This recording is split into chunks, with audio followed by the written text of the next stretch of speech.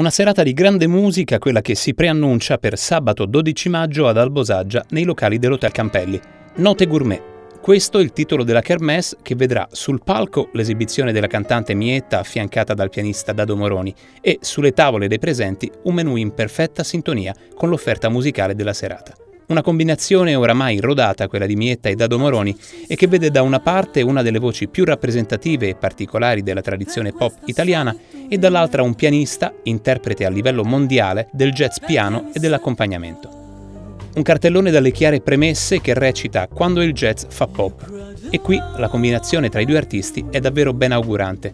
Inconfondibili timbriche vocali dal sapore mediterraneo, sanguigno, sposate a note raffinate ma dall'ampio respiro, aperte a sperimentazioni che sovente oltrepassano i cliché tradizionalmente jazzistici. Spaccheremo italiano, francese, portoghese, un po', un po' questo, un po' quell'altro rivisiteremo in chiave jazz anche un mio brano molto famoso proprio per far intuire quanto la musica si possa veramente amalgamare tutta.